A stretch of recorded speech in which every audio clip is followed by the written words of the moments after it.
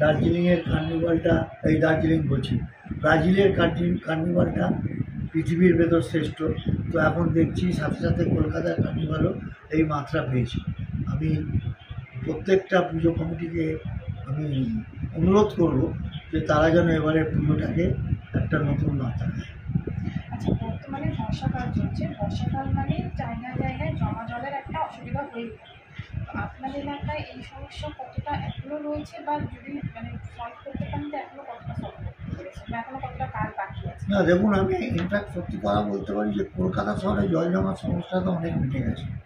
এবছর যদিও কম বৃষ্টি হয়েছে, তবুও যা বৃষ্টি হয়েছে, তাতে জল জমা প্রপার কলকাতাতে একদম নেই বললেই চলবে।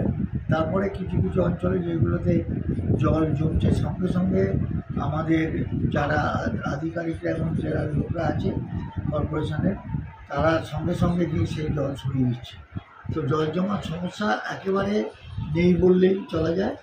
তবুও আমাদের এই সেওয়ারেজের লোকরা চেষ্টা করছে যে জল যত সবসময় তারা খুব অ্যালার্ট থাকছে অন্তত বর্ষাকালে যে জল কোথাও দাঁড়াতে দেবে না, এটা একটা ডাইরেকশান আমাদের মেয়রের আছে এবং এমআইসিও চেষ্টা করছে সেইভাবে কোথাও যাতে জল না দাঁড়ায়।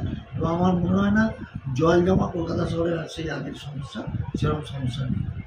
আচ্ছা এই মাত্র দু বছরের করোনা মহামারীতে যেভাবে তৃণমূলের যোদ্ধাদের রাস্তায় দেখা গেছে মানে প্রত্যেকটা মানুষের পাশে দাঁড়াতে বা তাদের সহায়তা করতে যতটা সম্ভব সহায়তা করতে তো আবারও যদি মহামারী সেরকম পর্যায়ে দেয় আবারও কি একইভাবে তৃণমূলের যোদ্ধাদের রাস্তায় দেখা যাবে? এবং প্রথম কথা হচ্ছে মহামারী আমার মনে হয় না যে ডাক্তারদের যত রকম ট্রিটমেন্ট আমরা করেছি যত বুঝতে পারছি তাতে মনে হয় মহামারী সেই পর্যায়ে আর যাবে না। দ্বিতীয় কথা, সেই পর্যায়ে যদি যায়, তাহলে আমরা, মমতাদি কর্মী আমরা রিপ্রেজেন্টেটিভ আমাদের যত কাউন্সিলার যত মন্ত্রী, সকলেই আমরা এই ব্যাপারে খুব বিচক্ষণ, কারণ গত দু বছরে আমরা দেখেছেন, আমরা এবার মহামারীকে কিছুতেই আমরা এবার সেরকমভাবে আসতে দেবো না, আমরা যেরকমভাবে যেখানে যেরকমভাবে ব্যবস্থা নেওয়া হবে আমরা আচ্ছা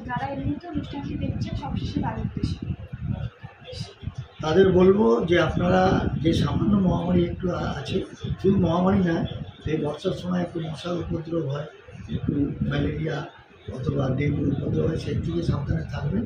মহামারী যদিও আপনার করোনা হচ্ছে বাট সেই করোনা আপনাকে কোনো মতেই ক্ষতি করতে পারবে না, চার দিন, পাঁচ দিন জ্বর হচ্ছে আমি ডাক্তারের সাথে নিজের কথা বলেছি, আমার বাড়িতেও সেরকম হয়েছিল, আবার আস্তে আস্তে চলে যাচ্ছে। এটা খুব একটা মারাত্মক কিছু না, একটু সাবধানতা অবলম্বন করলে সেটা হবে, সেটা নিয়ে থাকবেন। তার কারণ হচ্ছে, সামনে দুর্গা পুজো আমরা সকলে আনন্দে মেতে উঠবো, আমরা হিন্দু মানুষ, সেই জন্যই এই করোনার আর সময়ও বেশি নেই, একটু টাইমের পরে করোনাও পালাবে। তো একটু সাবধানে থাকলে আমরা দুর্গা পুজোতে সকলে আনন্দ আবার তাড়াতাড়ি ফিরে আসব। নতুন কোনো ইন্টারভিউ নিয়ে ততক্ষণ সঙ্গে থাকুন, দেখতে থাকুন ভারত